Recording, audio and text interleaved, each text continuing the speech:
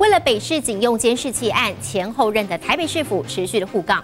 柯文哲在昨天在脸书曝光了任内最后一份公文，怒呛蒋万安别跳针，说是他调高费率，混淆视听。为了卸责说谎，质疑为何蒋万安要配合议会不合理的弹书。而台北市副市长李四川跳出来反击，说这些都是因为柯批八年来的漠视，市民要的是解决问题的市长。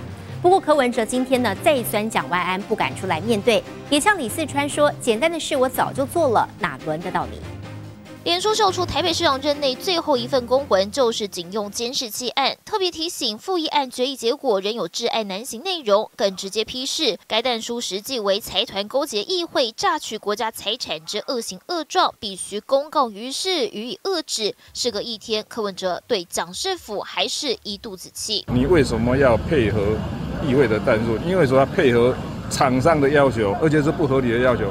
把所有台北市政府的摄影机全部改成三 mega，错就错了嘛，就这你还鬼扯什么汇率是我定的？对啊，同样的汇率，为什么你要多九千万？这才是问题了。和蒋湾两度激辩后，副市长李四川也参战，脸书呛科，因为八年的漠视才导致今天的结果。柯文哲也立刻留言回击，却被反酸，市民要的是一个可以解决问题的市长，请把说谎两个字吞回去。为什么三 M 费率定到了两千两百元？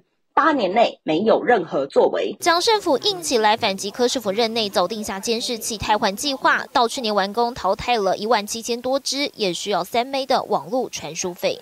有做报告说不需要全部改成三枚，条约是郝龙斌定的，台湾还是一个法治的国家，我不能说我看你这个这个这个约可能以后会有，就把它停掉，所以我只能尽我最大的力量去监督它。简单的事我早就做掉。